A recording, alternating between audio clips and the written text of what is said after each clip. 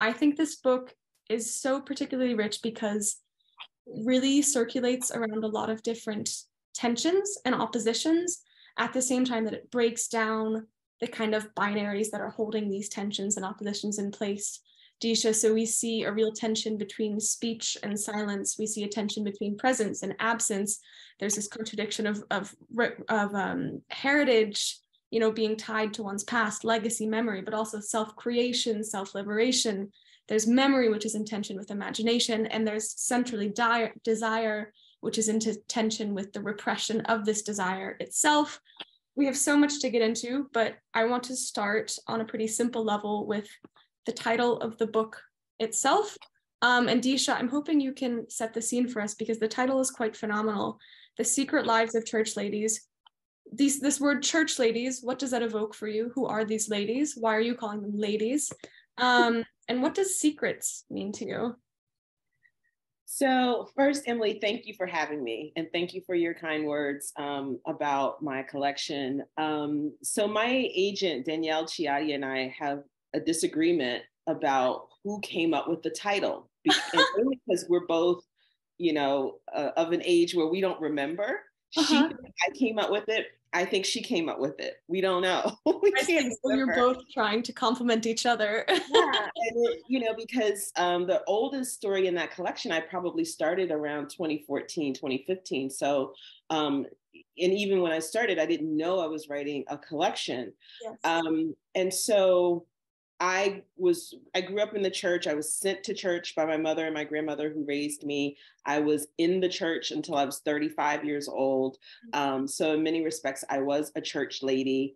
Mm. Um, and um, and so I this, they show my stories. They've always shown up in my stories, but mm-hmm. I now, But I just mainly mainly thought of them as these are the women who were integral to my upbringing. These mm. were the women, some in the church, some outside of the church, but all still tied to the church. Because even if you no longer went to church, you, as a child, you did. You know, at some point, someone in your life um, was involved in the church. So some of the women I call them church lady adjacent, where someone in, who's you know influential in their lives, um, you know, uh, was a church lady. So uh-huh. um, I, you know, when we, church lady in our culture, um, you think either, depending on your age, Dana Carvey, you know, the church lady on Saturday Night Live, you know, it's not special, you know, or Tammy Faye Bakker, you know, but for uh, for folks in the Black church,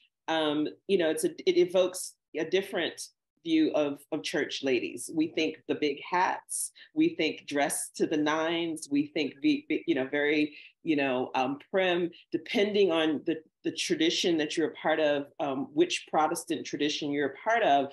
Uh, the church ladies might have been those ladies who, if you, they walked past the pews and your knees were showing because your skirt was too short, they would bring a handkerchief and just drop it on your lap very passive aggressively. Uh-huh.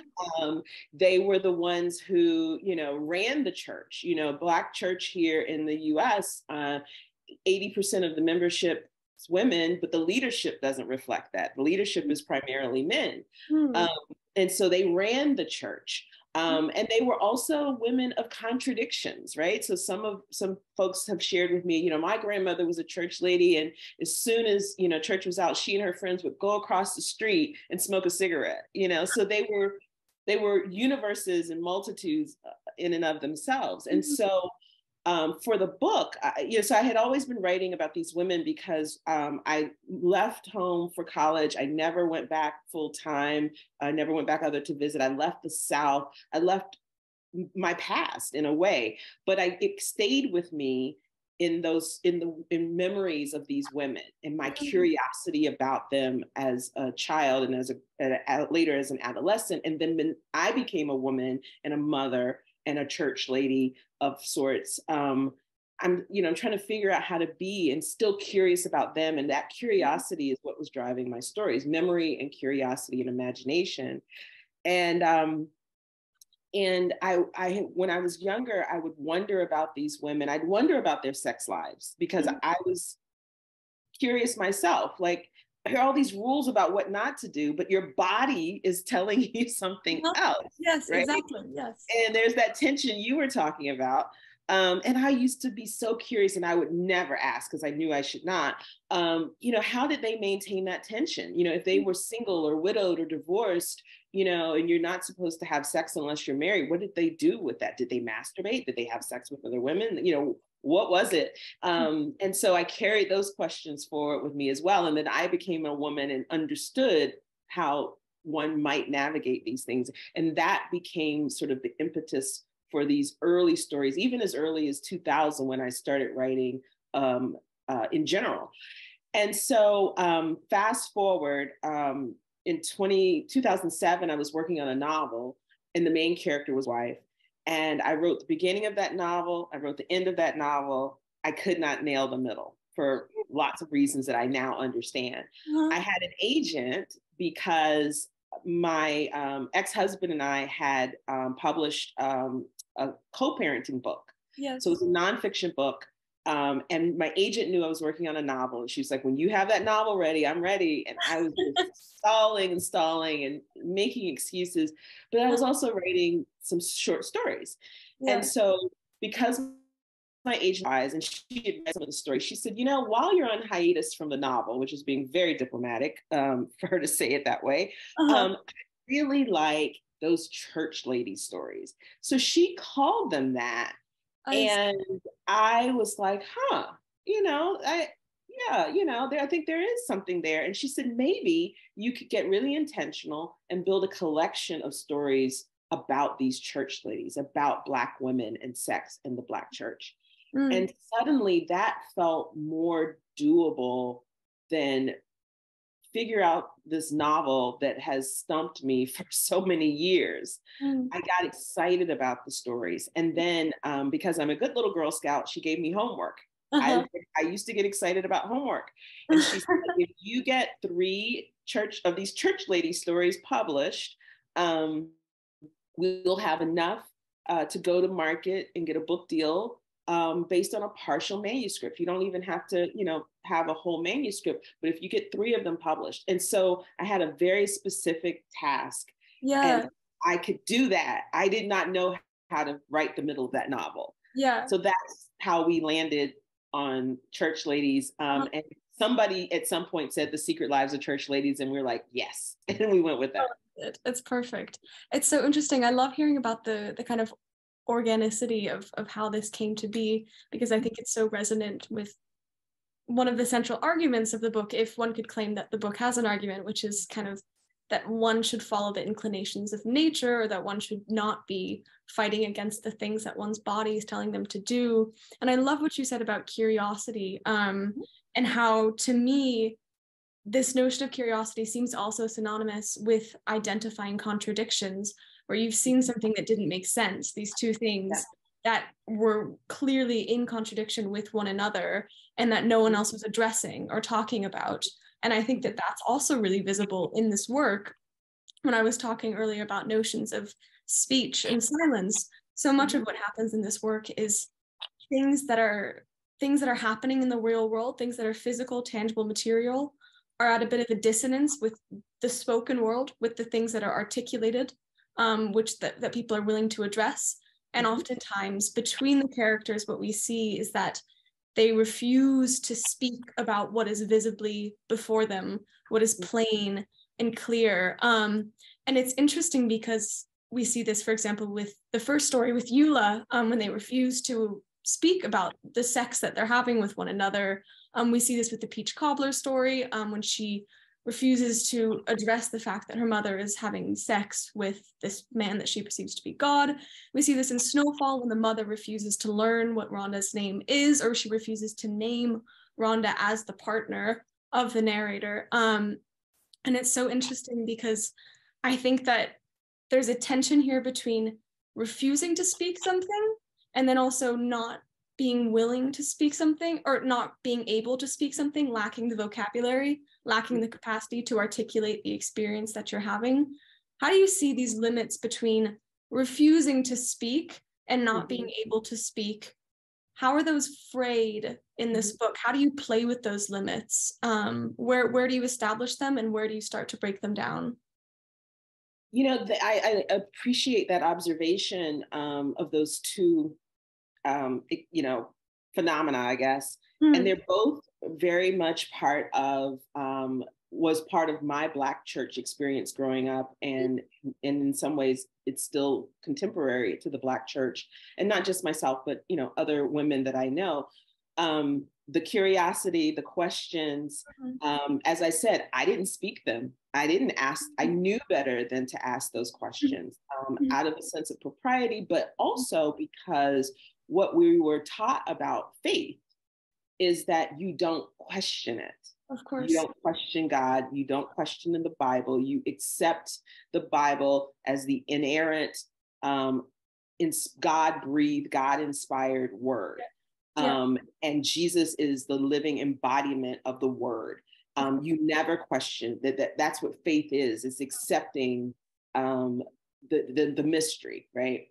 Um, so that's what on the one hand is that, you know, you these are the things we can't say. We can't have any doubts or curiosities or questions. We have to just simply accept um, without question. We have to simply obey without question. Mhm. And then on the other hand, it was um, you you described it as um, it was it was uh, um, choosing not to, Mm, you know, exactly, making the conscious choice of Yeah. we're not going to to to say what this Yes, is. And so the culture of silence in the church Mm. is what allows harm and dysfunction to be perpetuated. And Uh-huh. so I was curious about those silences and that's part of the secrets is what are the things that you know we only say to ourselves or we only maybe say to one other person you know Uh-huh. what are the things that we um are, you know are thinking or desiring but we won't speak them um even as we're acting on them and so the church further models that because uh, the church was the first institution to have the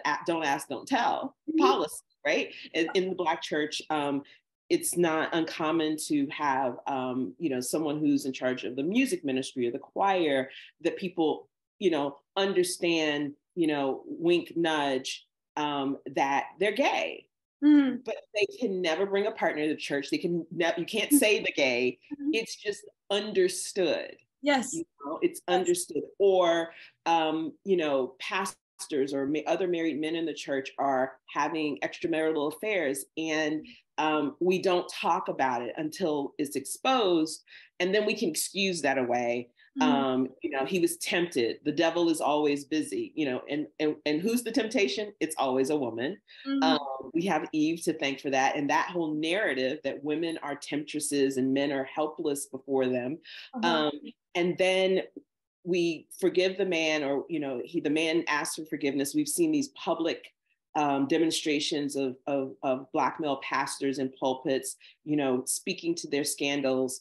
Um, and then they're forgiven. And then they continue to have scandals, you know, and it's like, we all see this happening Yes. but we're not supposed to talk about it. We're not supposed to complain. We're not supposed to notice the double standards Uh-huh. um, or any of those things. And so um, that's part of that second piece that you identified. The other part is something in church culture that's called, um, and not just limited to church culture, you know, the spirit versus the letter of the law. Mm, yes You know? yes And so there's this explain to us what that is yes yeah, so it's the idea that um, you know um, we see it in Eula, right? So the the the the the Christianity is basically you ask you know Jesus to be your Lord and Savior, and you know um, Jesus died in your place because the wages or the cost of sin is death. So Jesus died for our sins, so Mm. we are forgiven if we profess Christ. Mm, Um, and so as kids, the thing that was tricky for us was, okay, if I do this and and and Jesus forgives all of my sins, can I just keep sinning? Can I just, you know, and then be like, it's forgiven, right? Like, so why can't I just do? it? And it's like, well, you know, if Jesus was really in your heart, you would want to sin, you know. Uh-huh. But uh-huh. but the, the so the spirit of of this is that you don't conduct yourself in ways you don't sin. yeah Um, but the law says I can do these things and be forgiven. So what do we Uh-huh. see? See Eula having sex. She's not married. She's having sex with a woman, um, but she prays about it before and after. You know, Uh-huh. Uh-huh. Um, and, yes. and that's that's not i mean my story is an invention it's a product of my imagination but i went to high school and college with uh, young people who were christians who thought if as long as they had uh, they prayed before or after or both having sex that it was okay mm-hmm. you know yeah um, and yes. so it's this idea that if you know it, it's what we choose to say and how we choose to frame these things um, and if we, you know, and, and it, it, it's the simplified way of being human. It's overly simplified, mm-hmm. um, mm-hmm. and and it and it's very confining. Mm-hmm. Um, and that's what I was hoping to to show in the stories. Yes, and uh, we'll be talking a lot about this idea of of confinement as well, um, and the things that we adopt which confine us, the things which are forced upon us as confinements. Um, what I want to identify here i mean everything you said is is just so rich and i think that this question of interpretation is also at the center of everything because there is what is logically before us and then there is our interpretation of it which also feeds into ideas of storytelling and narrative. Um, and it's also interesting what you've said because it also shows the contradiction inherent in the notion of the secret where mm-hmm. these are secrets that everyone knows exists and they're only secret by the fact of not being spoken. Um, and so it's yet another tension yet another contradiction. Um, what you said about the kind of fact that one qu- can't question the church um, and this very the idea of the law it's it's brought me to what i think is maybe the central theme of this work though you wouldn't think about it um, when you first read it which is the, the, the idea of power um, and mm-hmm. authority I think, first of all, when we talk about sex, we're always talking about power.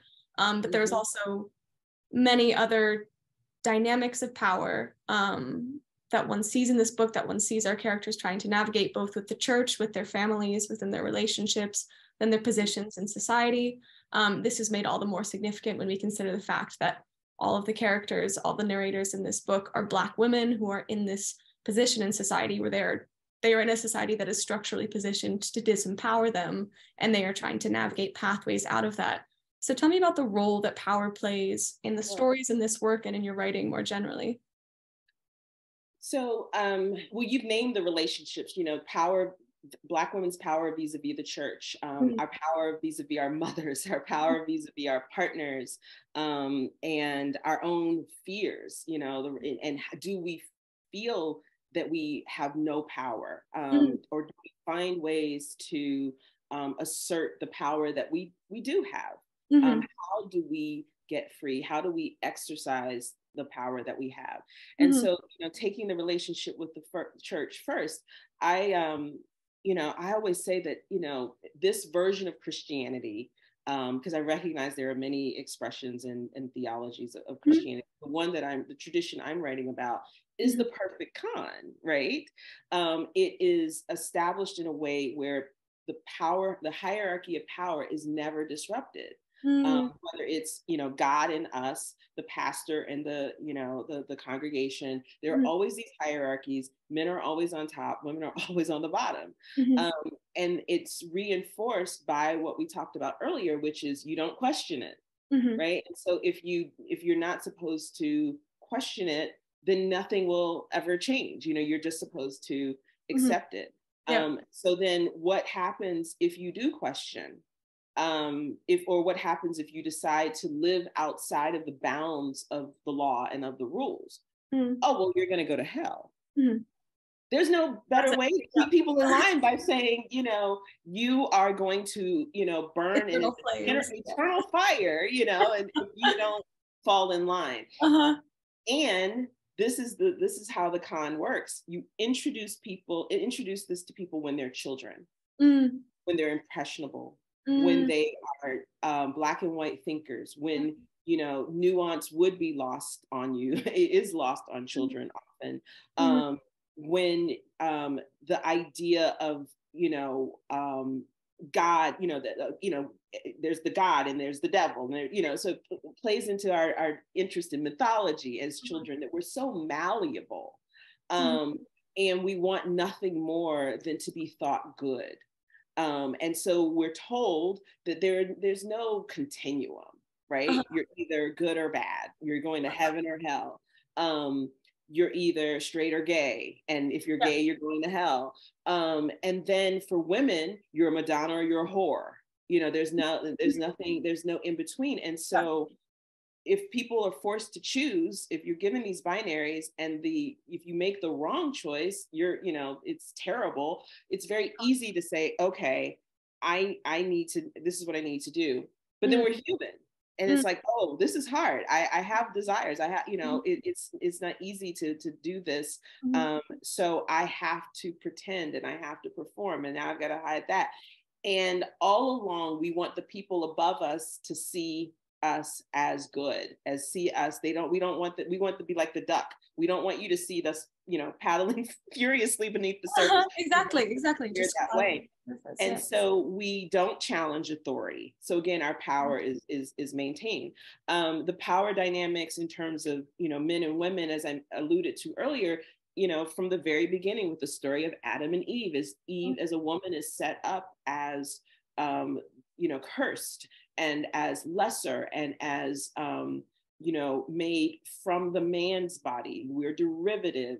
Um, are the things that make that that we uh, that are unique to to us and that men don't have you know in terms of um, um, or people who are born male don't have having a period that's a curse you mm. know all of the ways that we're told that it is you know those of us who are are um, identify as female that we are we are automatically lesser mm. um, in certain churches women can't preach um, at all or they can't preach or teach men mm. Um, so we see that those hierarchies of, of power are set up mm. then in our homes the power dynamics and all of these rules and binaries um, and uh, black and white thinking are replicated and mm-hmm. it's so it's re- reinforced so the things we're taught in church are reinforced at home and the things that we're taught at home are reinforced at church mm-hmm. um, you know you're and and uh, the bible says to honor your father and mother so again don't ask questions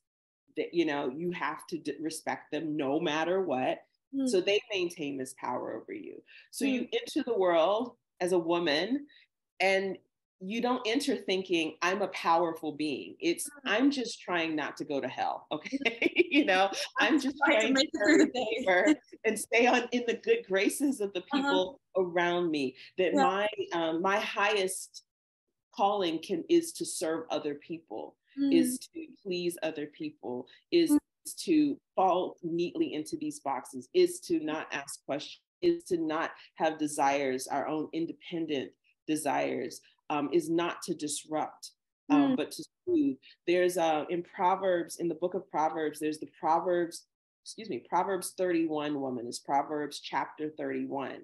And uh, I'm working on a novel and uh, in, in, it i refer to the proverbs 31 woman as like the beyonce of evangelicals right like every you know the um, you know evangelical christian women um, had a moment especially in the early and mid uh, 2000s 2010 uh-huh. um, pins it was you know i'm i'm a proverbs 31 woman you know and that meant that you you know and it's like you know she rises with the the sun and she doesn't go to bed until midnight and she's sewing her family's clothes and she's uh-huh. getting the food and she's speaking well of her husband at the gate at the city gates and yeah she i'm like when does she sleep isn't she tired she should be exhausted but that's the thing that we're an endless font of giving and serving and, and, mm. and caretaking mm. um, not um, creating for our own purposes mm. not um, being um, individuals you know mm. we're always defined in relation to um, other people mm. um, so a very disempowered um, position not mm. defined as a leader um, so that's how those power relationships you know show up and you spoke specifically about black women and and that's you know that's who i am and, and that's those are the women that i come from mm-hmm. and so we have then the additional burden of slavery mm-hmm. and the, the legacy of slavery um, slavery worked because of a story just mm. like the you know christianity works because of a story mm. um, the story that um, was told about enslaved africans was that we weren't human so it was mm. fine to enslave us you're not enslaving people you're enslave, enslaving animals mm. um, along that line, it was, oh, and you can also rape and breed the women because they're not human. Also, they're really promiscuous.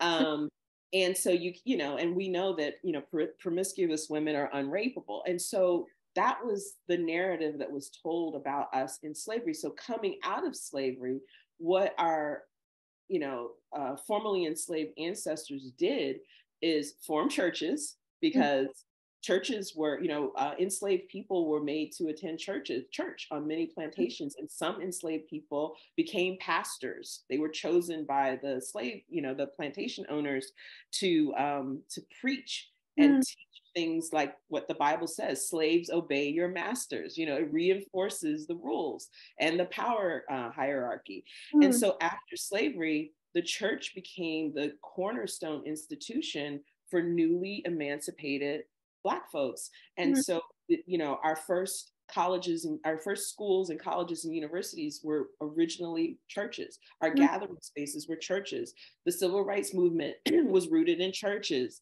um, and so in those institutions what are the laws what are the rules we've talked about them we're reinforcing patriarchy mm-hmm. um, and we're reinforcing white supremacy at the same time even though mm-hmm. you know it's it's um, amongst black people mm-hmm. um, and so the ways that Black women are viewed, it's again, I've got to prove to you I am human.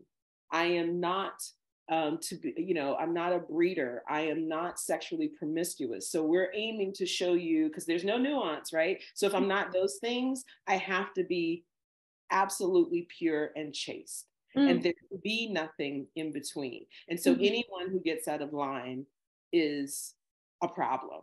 Mm-hmm. Um, and so that's how, as Black folks, we embraced those um, those church, the church's teachings and, and and made them our own in our own churches. Mm-hmm. Mm-hmm.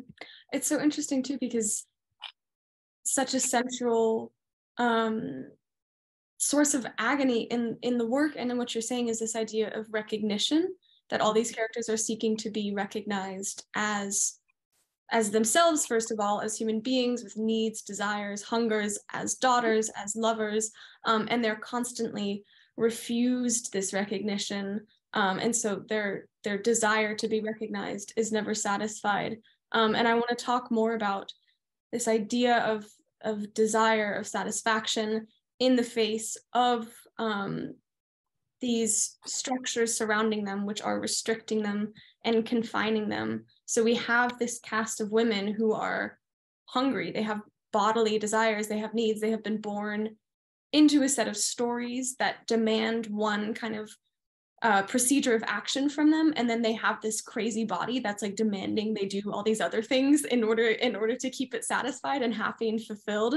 Um, and so they have the restriction. They have the desire. And so you start to wonder whether or not these external rules are the ones that are creating the desires for mm-hmm. them or if um, the desires are innate to them. And so I'm curious what you think about this relationship between repression of mm-hmm. desire and satisfaction of desire and mm-hmm. what you see your characters as doing in order to satisfy their desires.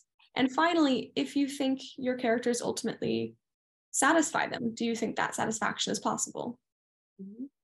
Oh, I love this question. Um, I think that, you know, I'll, I'll, talk about it through the lens of Eula, which is the, yes. the first story in the collection that we talked about. And mm-hmm. one of the things I love talking with readers about uh, is whether or not Eula and Caroletta are gay or queer or bi or mm-hmm. um, mm-hmm. um, lesbian, you know, mm-hmm. labels that you know mean something to all of us and that means something in the broader culture mm-hmm. and so i think so i asked myself that question because it's not something i had you know i don't have an answer and then like oh there are these two bisexual women and i'm going to write their story for mm. me truly it was there are these two women who are faced with this um, you know cultural what i call cultural christianity that tells them you need to wait for a husband mm-hmm. um, and if you don't wait you know hell and you know fire and brimstone and all of that um, and you have to wait for the man the man that mm. god is going to to send you and mm. in a lot of uh, some you know evangelical traditions women are cautioned against even being alone with men. Mm. Um, and we we I think it made it into the, the larger public consciousness when um, Mike Pence was vice president, and he was saying how he would never ever be alone with a woman ever. And that's I, I miss this. oh yeah, yeah. He would never be alone with a woman, and that was part of of his you know his evangelical background which is you know men and women are never to be alone because you know you're going you could be tempted and you don't want to create an environment where there's temptation right and so i was thinking about the fact that if you grew up if you were raised in a tradition like that um, and you got to be 40 years old and you were not married and you had sexual desires mm-hmm. um, mm-hmm. and you were told that masturbation is also sinful mm-hmm. so you know you can't even do that mm-hmm. um, what do you do and you're around women all the time mm. and so you know you're going to be drawn to the people who are around you so that was kind of you know i was thinking about these two friends who are in this um, for them it's a dilemma of being single at 40 and mm. being told to wait on their boaz so wait mm. for the man that god sends them mm-hmm. and then around the same time I was having a conversation with a, a, a friend of mine, a guy um, who was lamenting that, you know, he doesn't have a problem with, you know, gay people or anything like that. Um, but all these girls are saying that they're bi, and he thinks it's just a trend. Hmm. That, you know, it's it's it's you know it's just a trend. And so I said, I asked him, I was like, why do you why are you doubtful? Hmm. And he said, because when we were growing up, girls weren't doing this stuff with each other. And I said, How do you know? Hmm, yes. Interesting. That's and a hypothesis. and I said, You all only knew what we told you or what uh-huh. we showed you. Uh-huh. So you don't know. And uh-huh. He said, Touche. And uh-huh. so it I brought that to kind of bear with these two women I had been thinking about, two church women, church ladies. And I was like, what if that was their secret? Mm. That, you know, mm they had these desires and um, they didn't want to you know break the law uh, mm-hmm. that said that they weren't supposed to have sex with men um, mm-hmm. but again when you start playing the spirit of the law versus you know but homosexuality is also considered a sin mm-hmm. but if we pray about it and if we only do it once a year it might be okay you know, you, you kind of rationalize anything. And in the case of Eula, she just she literally won't talk about it, won't mm. acknowledge it, even mm. as they're doing it, you mm. know. Mm. And then Caroletta is different. Caroletta, you know, um, is our point of view character, and we're inside her head. Mm-hmm. And um, I think that you know, if I had to imagine a world beyond the story as it's written, um, you know, Caroletta would be all in to mm. move to another town and have a whole open relation, you know, a whole relationship out in the open mm-hmm. with Eula mm-hmm. because she loves her mm-hmm. um, and romantically. Mm-hmm. Um, and yet, I don't know that Caroletta is at all interested in the label of I'm gay, I'm a gay woman, or I'm a bisexual mm. woman, or I'm a queer woman. Caroletta would say to you, I love Eula. Hmm. And I'm not saying this to say there's anything wrong with labeling our, our desires or our identities or whatever, but for hmm. these particular characters, I think it shows the complexity of it, especially as women who have been told that all of those labels are wrong or bad. That hmm. I can understand why they might hesitate to embrace the label or embrace even a community. Hmm. Um, for Caroletta, it's like, I, I love this woman and mm. that's you know it's as mm. simple as that no, no, and it no. means that some people think i'm going to hell fine i'll go to hell you know mm. um so i think i answered a little bit yes. yes, certainly yes and it's so interesting what you say because it brings us back to what we were talking about in the beginning this tension between um, refusing to name things and not being able to name things and you've completely identified a kind of third category that i hadn't considered which is the failure of the name, the fact that naming something cannot actually account for the complexity, the wholeness of the object that it's naming, the object being a human being with this complex network of desires. Mm-hmm. Um, and I think what's interesting about the Eula story as well um, is that it's it's to a certain degree about women who have needs that are not being met that satisfy those needs in each other, but it's also really deeply tragic and a really sad story. And I think there's a real current of tragedy and sadness that runs throughout this book. Mm-hmm. And it's very caught up in an idea of guilt and shame, the, mm-hmm. the kind of curse of the satisfaction of desire that upon realizing your desire, um, you are punished with you punish yourself you become the, the agent of your own misery um, i think we see this with eula. We see this particularly in the peach cobbler story which i'd like to talk about. Um, i'd actually like to read really briefly um, with a very short amount of time but you have this just devastating visceral scene in the peach cobbler story. For those who haven't read the book um, this is a character whose mother bakes peach cobbler for their pastor before she proceeds to have their married pastor um, and then has sex with him. And the daughter just really wants this peach cobbler because she really wants to be seen and loved by her mother. She never is. One day her mother dumps the peach cobbler in the trash, and the daughter, in the middle of the night, gets up, goes before the trash can, kind of bends down and and proceeds to devour this peach cobbler for the first time. Um, and she writes, in the darkness, I reached down into the garbage can until my fingertips were wet and sticky. I grabbed a handful of the cobbler and shoved it all in my mouth at once. The sugary juice dribbled over the corner of my mouth down to my chin as I chewed. I savored the peaches and the soft bits of crust soaked through with the syrup. Nothing had ever tasted so good. From memory, I pictured every movement of my mother's hands, how she dunked the peaches in boiling water, then ran them under cold tap water to slide the peels off, the easy way she wielded the knife to slice the peaches, the care she took to drain canned peaches when Georgia peaches were out of season. And then when she's caught by her mother, there's this scene, her mother is right behind her, says, What are you doing? And it says, Tears streaked down my cheeks, and my sticky fingers were still in my mouth. I bit down on them, not sure how to answer her and afraid not to answer. And it's just such a beautiful, remarkable scene of just relinquishing to urge to the body to need and in this case it's not sexual need it's food it's hunger but we realize that all these different needs these are all just different symptoms of the same feeling of need and of lack and it's accompanied here by punishment it's accompanied with eula by regret guilt so what is the role of guilt and shame in this book and is it inevitable when one gives in to desire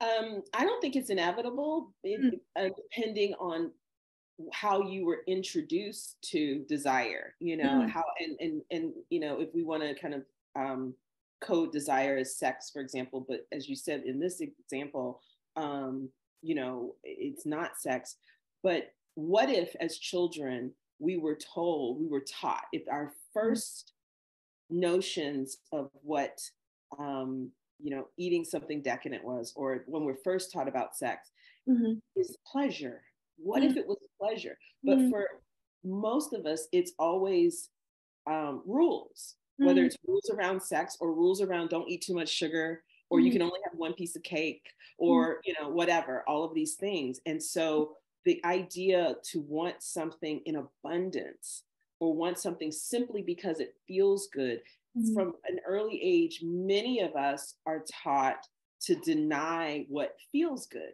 Mm-hmm. You know, what is it too? You can't, you shouldn't have too much of a good thing, or you they say you can't have too much of a good thing. But what we're taught is don't have too much mm-hmm. of a good thing. We're mm-hmm. taught, um, especially in you know evangelical Christianity, with evangelical Christianity, we're taught mm-hmm. to um, um, fear the body and distrust the body, the mm-hmm. flesh, mm-hmm. you know, the world, the flesh, you know, all of those things, and, and even language of their the, your flesh is your enemy. Mm. And so you're pitted from a very early age, you're pitted against your own body and your own desires. Mm-hmm. And so I don't think fear, guilt, and, and shame, and I'll talk about why I talk about all three of those in a sec. Yes. I don't think they're innate to us. I mm. think we're taught to be suspicious of our bodies, mm. to um, to confine our bodies, to limit our pleasure. We're not taught to embrace pleasure, mm. especially as women. We're not taught to embrace mm. uh, what feels right to us. We're taught to second guess ourselves. Mm-hmm. Uh, we're not taught to listen to our intuition. We're taught that, you know, um, you have you know all again about the devil that the devil is is is busy and is going to you know um, lead you astray the world is going to lead you astray mm-hmm. um, there is an organization called the incarnation institute um, for sex and faith mm-hmm. which um, has a mission to break down that sort of um, unnatural and untrue dichotomy between um, how people who um, embrace faith and religion um, and and and how they view sex mm. and to address a lot of the sexual dysfunction that comes with harmful church teachings mm. and uh, they offer a training course for therapists and for clergy and sex educators um, and they invited me in because of my book, and I got to, to do the training. And oh. one of the things that they talk about is fear, guilt, and shame. And they call it the unholy trinity, which I think is just a perfect, you know, um, uh-huh. vision, you know, perfect imagery yes. of um, how many of us are taught desire or how to mm. regard desire, our own desires, be they sexual or otherwise. So mm. absolutely, I don't think it's um, it's a natural mindset. Mm. It's one that we can and hopefully will um, each of us have the opportunity to unlearn mm. if that's how we have been taught to think about pleasure or desire. Mm. Mm.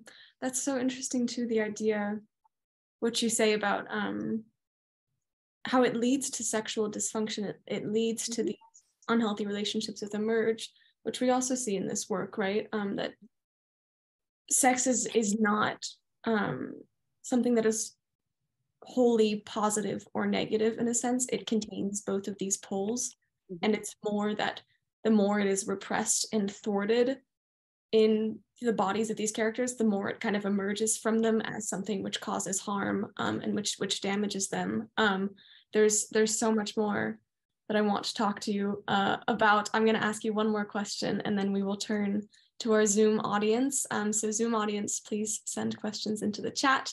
They will be read aloud and discussed.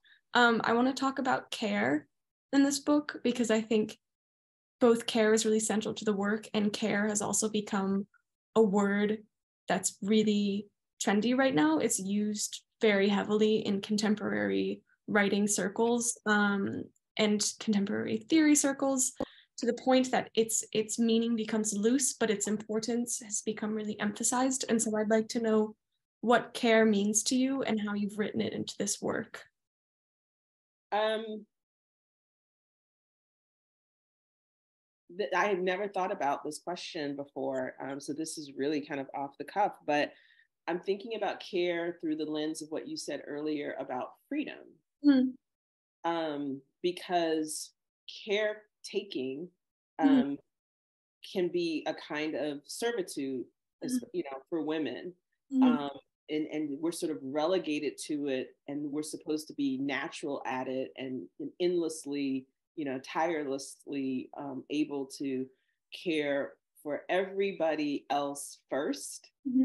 and mm-hmm. not prioritize our own care mm-hmm. um, and so one of the acts, one of the ways we get free, I think, is to re examine and re-establish our relationships with care. And mm-hmm. so, you know, the characters, um, you know, my characters in the stories do that in, in different ways. And so Lyra is a character in a story, um, How to Make Love to a Physicist. Mm-hmm. And it's how she cares for her body yes. that helps to free her up to be open to a relationship with someone else. That her first priority, though, had to be um, how she took care of her body, mm-hmm. um, what she ate, mm-hmm. um, t- how she touched herself, how she she viewed her body as not something to be tamed or contained, but to literally have her physical body be free. So mm-hmm. she had to, you know, ex- take that journey for herself. And then I think about um, daughter who doesn't have a name. She's only just daughter because that's her function in the family. She takes care of everybody, um, and including her brothers. Yes. And then when we meet her uh, in this story, she is the caretaker for her mother who um, has a, a, form of dementia and her mother wasn't the mother she needed her to be um, her mother wasn't the best caretaker of her when she was a child and now their roles have been reversed mm-hmm. um, so i was very curious because of the relationships between mothers and daughters in my own family and mm-hmm. caretaking of elderly mothers who um, you know weren't the mothers that you needed them to be i watched my mother have that experience and i watched my grandmother have that experience mm-hmm. but i mm-hmm. never talked to them about what that was like and so this is a story of me kind of imagining what that was like mm-hmm. um, and the tension mm-hmm. you know and so daughter has to navigate um, that and you know her role as a caretaker mm-hmm. um, her anger at her mother the mm-hmm. hurt that she's felt how does she the grief over the relationship they didn't have and what she didn't get from her mother and then she has a brother her one living brother who um doesn't you know he doesn't see he doesn't feel the same obligation to their mother mm. uh, that she does and why oh, is that yeah know, yeah that yeah. um so i think it's it's i think the idea of care shows up in as as women as black women in particular how do we prioritize care for ourselves and how do we renegotiate mm-hmm. the expect expectations of us mm-hmm. as caretakers mm-hmm. um, are we supposed to be caring towards parents who were negligent towards us mm-hmm. the mm-hmm. bible says we are you know but what do we say mm-hmm. and it's answering and making those decisions for ourselves and then living with the decisions we make without feeling guilty or ashamed or fear of you know some afterlife in which you know a sky daddy is going to you know say you didn't you didn't honor your mother and father uh-huh yes and i love that you've uh you've you've used the word sky daddy um because i i actually i would like to talk about god and i would like to talk about god in this book because i don't think he's in this book and um and i'm i'm wondering where he is and i think specifically in dear sister you make this mm-hmm. lovely link um, between the absent physical father and God as the absent father. Um, and it seems to me that these women, what they may be seeking at the end of the day is some form of God or divinity. Um, in the sense of the the absolute realization of their desires, you see it even in um, the final story between Mama and daughter when she's kind of uses um, the figure of the singer whose whose name I have now forgotten. Um, thank you very much. Yes, uh, as this figure that will kind of like Christ will. You know, she's always waiting for him to arrive um, and announce himself. And so, I just want to know where where is the divinity in this work? Do you think that these women believe in God? Do they need God? Do you think that that belief in God um, is good for them? Does it help them in some ways? And in what ways is that harmful for them? Um, oh gosh, they I think they're all grappling with it in different ways. I mean, if we just stick with Dear Sister, yeah. Um, and the, you know the four sisters, you know the way that they each sort of um, make peace with their relate or not their relationship with their father, their biological father, mm-hmm. um, and then you know how do they regard uh, their regard God. Mm-hmm. And so I think about um, the character Renee, the sister who most wants to believe in their deadbeat dad, yes, most yes. is the most Christian, is the most yes, exactly, yes.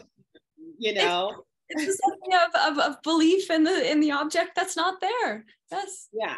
And and and the um, you know, telling yourself the story. What story does she need to tell herself that, you know, she's a good daughter and he's a good father. All of the evidence to the contrary that he's a good father. Um, but it's the same thing with God. We have this book, a Bible, and then we have church people who tell us who God is, but we all get to, for ourselves, decide if that's our experience, you know? And so we have Renee on one end of the spectrum, and then we have Tashita, her, her one half sister, um, on the other end, who is a complete hedonist mm-hmm. and you know who um, has no you know does not seem to operate with any concern about fear or shame or guilt yeah, um, yeah. but she also isn't unaware you know, uh-huh. because when when Renee scolds her and says you should speak honorably of our father because the bible says such and such she comes back and says but you know what the bible also says you know that he you know he was not he you know he you know renee understands that you know she has she's like so many of us we were raised in a church we were told what you're supposed to believe so it's like I know what you're talking about, Renee. You're not talking, you know, she, she, just needed to let Renee know I'm not some heathen that I don't, that, you know, you're, you're going to, you're not going to school me. Mm-hmm. I have processed this information for myself and this is where I have landed. Um, and so I would say that Renee doesn't think about God the same way she doesn't think about her biological father. Mm-hmm. Um, she's mm-hmm. just not, con- she's not concerned mm-hmm. um, with pleasing anybody or anyone's expectation. She's also not um, pining away, you know. Um, and and and. I'll speak to sort of. Uh, I love the question. You know, where's God in the book? I, mm-hmm. I know that my own experience of, of God and having been in the church and not in the church certainly influences that because for me, that was what finally showed me that I was going to leave, made me think, I'm leaving the church. I don't know why I'm here. It's because I didn't feel all those things that people said. If you're a Christian, this is what your experience of God is. It's very much prescribed, or at least it was for me. And for long, uh, for so many years, long before I left the church, I didn't feel it. Mm. I was faking it. And mm. I would fill journals writing about how I just wanted to experience God the way it was in all the hymns and the way that, you know, they said in Bible study and in sermons, mm. desperate to feel it. Mm. And I didn't. Mm. Um, and when I was finally honest about that, that's when I left the church. And mm. so I think that shows up in my stories where each of these women are saying, here's what I experienced of God. And it ranges from, you know, uh, uh, mother characters who are focused on, you know, here's what the Bible says and here's what I believe. And then there are others who are, you know, I'm trying to follow, but something's missing, mm. you know, and I'm still praying to this God because mm-hmm. I'm supposed to, but something's missing. And then characters like Tashita who are like, I don't know that guy, you know. yeah, no, the God haven't. Not, it's, not, it's not relevant to her life at all, you know. Mm, mm, it's amazing because it, it brings us back to, I think, what it strikes me is the central point of this discussion, which is the idea that we are we live in this very strange world surrounded by fictions that don't correspond to our immediate perception. And mm-hmm. so all of these women, in a sense, are trying to navigate trusting their perception, their immediate instinct, versus everything the world is telling them, which is totally at contradiction with what they feel and what they see and what they are trying to speak um, in these different ways. Um, and it's just been such a pleasure speaking with you. I'm looking at the time now and feeling nervous because I have so many que- more questions, and we are meant to be taking questions from Zoom. Um, people on Zoom, please do send those questions in if you have them, because if not, I will just keep on talking. Um, in the interest of time, I would like to get to some questions which are less kind of of the abstract metaphysical and more to do with your own career as it currently stands. So you're currently adapting this work into a TV show for HBO Max. How has that process been of transforming um, the voices of these characters into script? How has it been kind of giving them flesh and bringing them to light? Um, and what has that revealed to you about the characters that you maybe didn't know about them when you were writing them for short stories?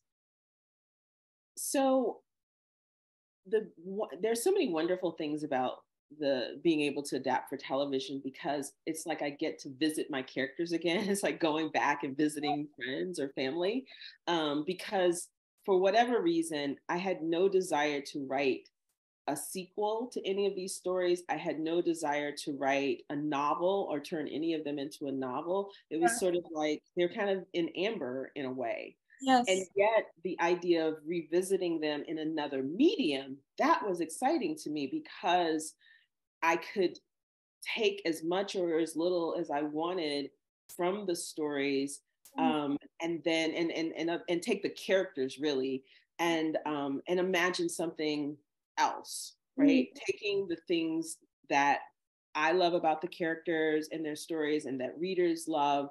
Mm-hmm. Um, but beyond that, being able to imagine something different. Mm-hmm. And so, where we are, I'm working with a, a co writer, and mm-hmm. where we've landed, we've been working on this for over a year. Mm-hmm. Um, we are focusing primarily on Olivia from Peach Cobbler and Instructions for Married Christian Husbands, yes. um, Jael from Jael. Fantastic.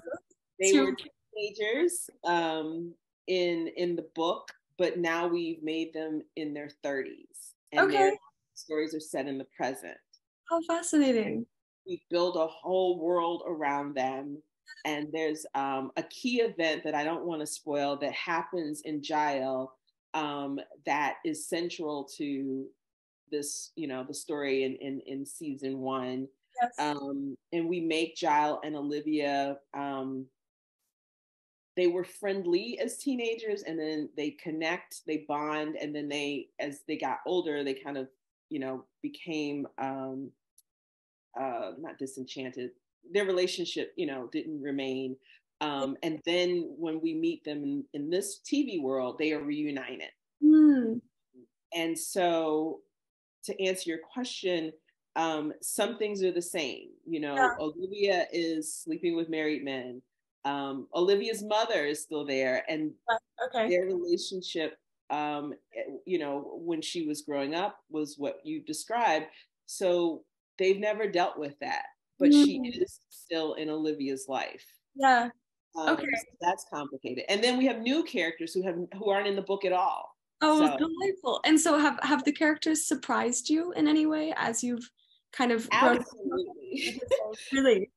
And you know, I think what allowed me the characters to surprise me is working with a fantastic co-writer who loves the book, loves the story, loves the characters, but she's not wedded to them the way I am. Mm-hmm. And mm. so she'll write a scene and do things with the characters that I'm like, oh, okay, you oh. know, like I didn't, uh, all right. And, you know, so I really, um, you know, uh, Tori kicked us off and wrote the very first scene. It's not the first scene now that's in the pilot, but the first scene we ever wrote, she wrote the first one. And I mm. was just gobsmacked. like, okay, this is what we're doing. I can do that. Okay, all right, I'm, I'm on board.